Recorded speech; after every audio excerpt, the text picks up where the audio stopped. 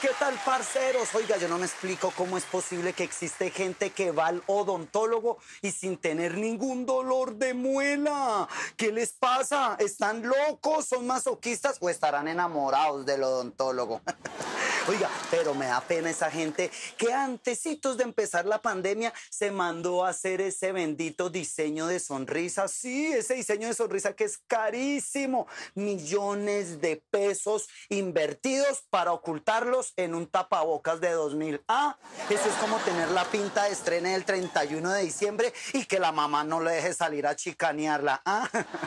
Y en esta linda y dolorosa profesión también existen en todos los estratos sociales. Tú te das cuenta cuando es estrato alto, nomás cuando llegas al local.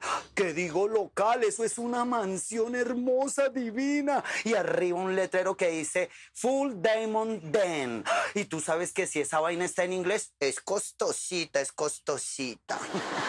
Aparte de eso, entras y te atiende la recepcionista, una modelo rubia, espampanante, pechugona, hermosa, que te pregunta si a la orden qué servicio deseas. Usted no le va a decir la verdad, qué vergüenza que usted fue porque se le quedó incrustado un recado en la muela coca. No, usted como todo colombiano es mentiroso y le dice, no, vengo a cotizar un diseño de sonrisa. Y ella, solo vale 10 milloncitos de pesos. Y usted, ¡uy! Está barato, ¿sabe qué? Voy a dar una vueltica y ya vuelvo.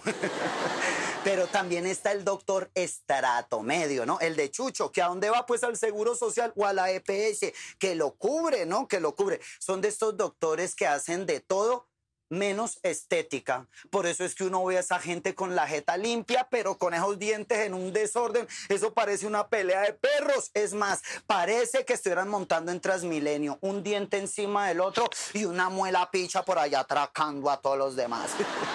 Son de esos doctores que uno le pregunta, doctor, ¿con qué me saldrán estos dientes amarillos? Y le dice uno, pues con una corbata marrón.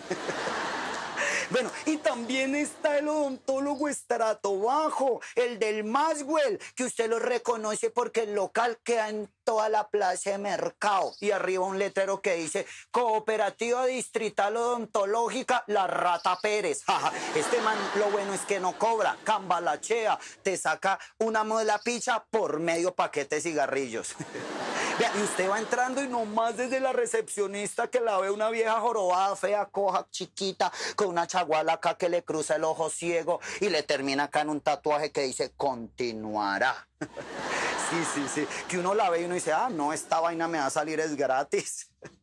Y te dice, Buenas a la orden. que necesita? Cinco servicios, 20 mil pesos, yo pago la pieza. Ay, acá es donde usted dice, no, esto es un emporio comercial. Y no más porque el odontólogo no solo es chamán, es sobandero y vende minutos a celular. Ah, bueno, pero acá lo importante no es si usted es vidente, o sea, solo tiene dos dientes, o es mueco, o no tiene dientes bonitos, o los tiene amarillos, o los tiene negros, o los tiene pichos esto no importa. La verdad, lo que importa es sonreír, pero sonreír con el alma y con el corazón.